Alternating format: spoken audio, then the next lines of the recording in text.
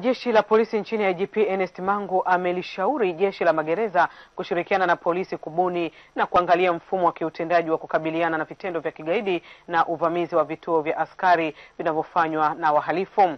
IGP Mangu alikuwa akifungua mafunzo ya uongozi daraja la pili kozi namba 44 katika chuo cha magereza Ukonga jijini Dar es Salaam ambapo jumla ya wahitimu 204 wamehitimu. Mwandishi wetu Catherine Nyoni ana taarifa zaidi.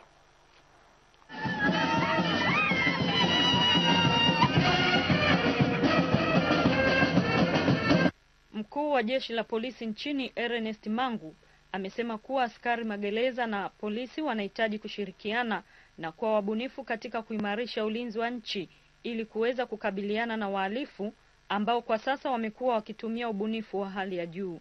Sisi sote ni mashuhuda wa vitendo vya kigaidi vinavyoendelea kutokea duniani kote na hata hapa nchini kwetu. Tumeshuhudia matukio ya uvamizi wa vituo vya polisi uvamizi wa askari wakiwa kazini, ambapo pia baadhi yao wameuawa na kuporwa silaha. Ni lazima tuangalie mifumo yetu ya kiutendaji ili tuweze kukidhi matarajio ya wakati huu. Kwa upande wake, mkuu wa magereza nchini John Minja amesema chuo hicho kinatarajiwa kubadilishwa na kuwa chuo cha taaluma na urekebishaji. Sasa hivi tuko katika programu maalum ya maboresho ya magereza na tunaamini kwamba maboresho haya yataleta mageuzi makubwa katika kuliandaa jeshi la kisasa kutoka katika magereza kuingia katika taaluma au urekebishaji. Awali mkuu wa chuo hicho Erasmo Chikundi ameeleza mafanikio walioyapata. Aidha, wamepata maarifa na ujuzi wa kutosha kuweza kuyamudu kikamilifu majukumu yao.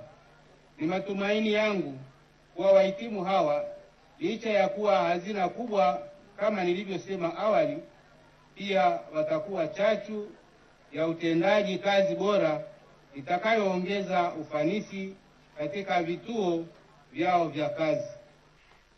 Miongoni mwa changamoto zinazokikabili chuo cha magereza Ukonga, uchakavu wa majengo vyumba vya watumishi, vyumba vya madarasa, mabweni na mfumo mzima wa maji safi na maji taka, hasa katika maeneo ya vyoo. Kituo cha afya kilicho hakikizi mahitaji. Ufungaji wa mafunzo hayo ulipambwa na gwaride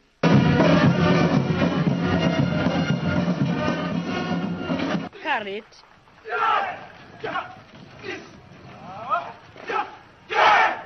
na ngoma.